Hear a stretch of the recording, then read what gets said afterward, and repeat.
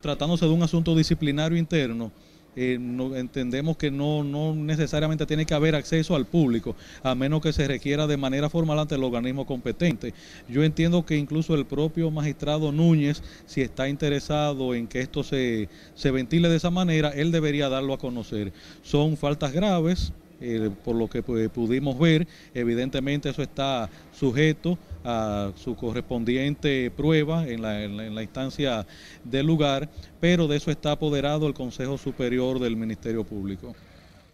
José Francisco Núñez fue suspendido por alegadas faltas graves en el ejercicio de sus funciones, lo que ha rechazado el exfuncionario del Ministerio Público, en tanto que Osvaldo Antonio Bonilla Hiraldo fue trasladado desde Puerto Plata a Santiago por el Consejo Superior del Ministerio Público.